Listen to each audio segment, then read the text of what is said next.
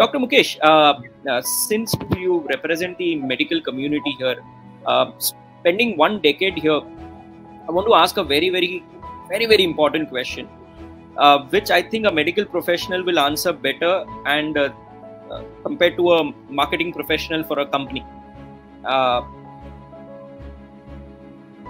we understand that your inclination and awareness about the utility of stem cells, the application of stem cells, is, is tremendous, and it is it was visible in the last one hour.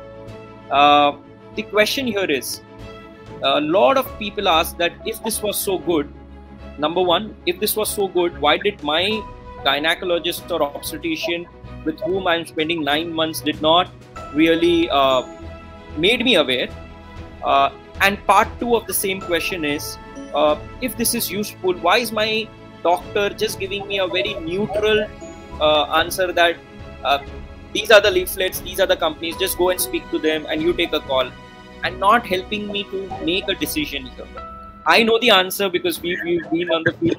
But मुझे आपसे ये समझना है and I want the audience to understand from the gynacs or a obstetrician's end uh, what would be your answer to questions on on uh, to, to, such questions so let me let me give you a doctor's perspective so my background being i have been in obgy for last more than a decade and i have also been the president of the largest medical association in mumbai with 16000 consultants. And i'm presently the trustee of a gynec association also in mumbai association of fellow gynecologists. What i'm trying to tell you here is this that every human being has a human component.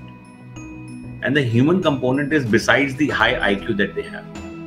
So one component is iq that they are very knowledgeable and very expert in the subject that they are but the human component is that they do not want to push you into doing something which you're not very sure about uh, whether it will be of use to you or not for the worry of you branding them as profiteering out of it so that phobia of being unfortunately branded as you know uh, profiteering out of the whole process is one reason why they take a backseat. Number one. Number two is this that see uh, there is there is a bias of action. You know there is actually always a bias of action. Suppose there are two choices. One choice that don't do anything versus a choice that okay if you do that there is something gain and that these two choices are thrown across to an average population most often than not the majority uh, the larger chunk of uh, people would say do jo chal raha chalne i don't want to do anything different so you don't want to change nobody likes change okay but in in the era of evolution unless there is incremental change by virtue of support of science technology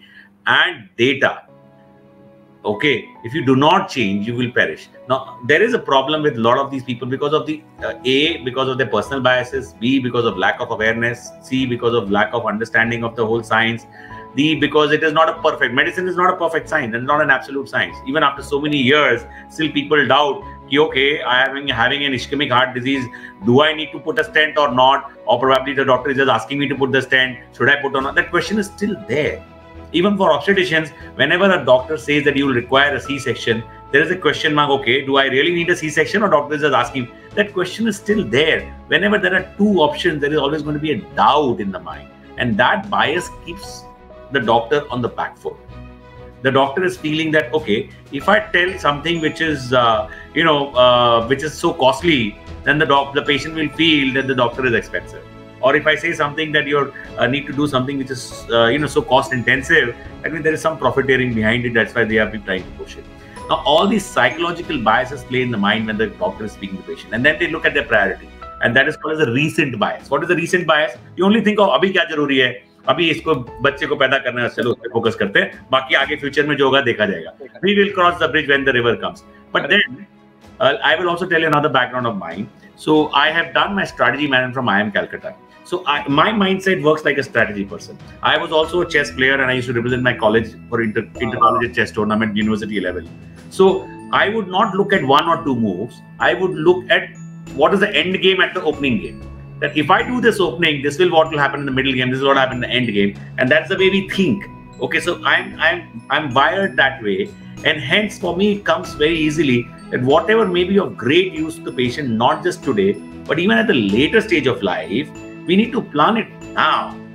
Okay, so if you are smart enough to plan your retirement solution, to plan financial freedom, to plan your insurance for your family, to plan your, you know, uh, plan for a house and trip and vacation, everything right now, for even after two years, four years, five years, how can you be not smart enough to plan a backup system for your family for a scientific breakthrough technology of stem cell therapy, which has been talking. About any science fiction movie you pick up, they're talking about stem cell treatment or stem cell uh, research. So everybody knows that this is the future. It's as true as the as the emergence of machine learning and deep learning and artificial intelligence in our day-to-day life.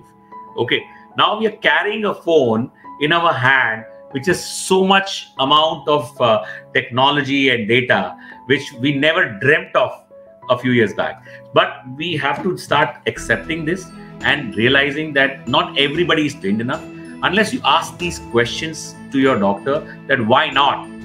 Okay they will not be in a comfortable position of telling you it is so important last but not the least is that we doctors are so focused on taking care of your other issues that sometimes we do not uh, many of the doctors may not have the time efforts inclination or intent to invest. And because of individuals bias you cannot get into uh, you know your decision making so to summarize in one line i always say that if we do not change with the changing times we perish. If we change with the changing times we survive. But if we bring about the change we are leaders and we always are ahead of the herd and we do better. So we need to start thinking a little forward and start thinking what is best for our family and take decisions